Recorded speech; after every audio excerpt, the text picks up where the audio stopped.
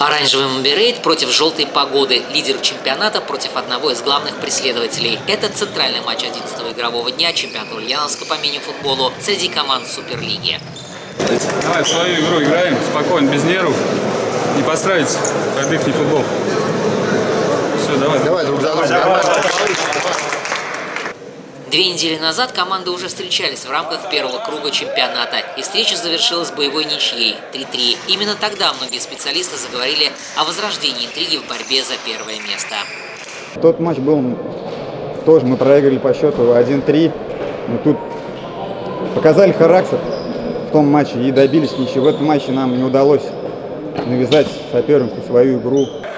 Хотя в самом дебюте поединка первыми голевой момент создали именно футболисты погоды. Лидер атак желтых Константин Убаскин ворвался в штрафную соперника и упал, словно подкошенный. Судьи не поверили форварду и вместо пенальти наградили его желтой карточкой за симуляцию. А вот Денис Мерте из Моберейта тоже падал в штрафной соперника, но это падение привело к голу ворота погоды уже на седьмой минуте. Так Моберейт повел в счете. Соперник отыгрался в конце первого тайма. Константин Убаскин на этот раз удержался на ногах и точно пробил нижний угол ворот голкипера Вадима Новичкова. И казалось, что паритет по итогам первого тайма сохранится. С этим не согласился Вячеслав Мысин и отправил мяч под перекладину ворот погоды. До сирены на перерыв оставалась всего одна секунда.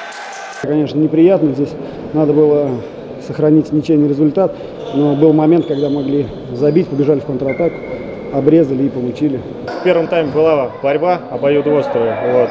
Э, ушли на перерыв, забили очень важный гол при счете 1-1 на последней секунде. Конечно, я думаю, это повлияло в психологическом плане. Команда как бы почувствовала уверенность, что можно дожать соперника в втором тайме.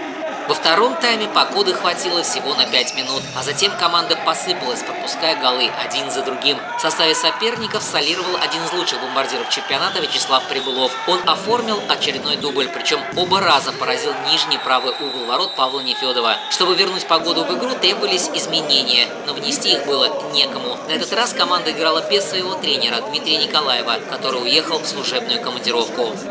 Конечно, отсутствие тренера всегда сказывается. Да? Он и подсказывает и по игре, и за временем следит, и тайм-аут э, где-то берет. Сказывается, конечно, сказывается.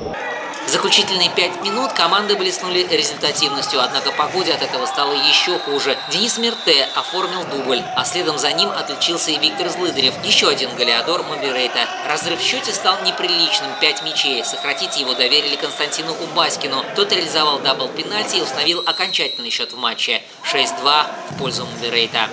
Мы не допустили ошибок в обороне. Как обычно это бывает. Сами себе не привезем, и впереди у нас момент в любом случае появляется. И забили сегодня достаточное количество моментов.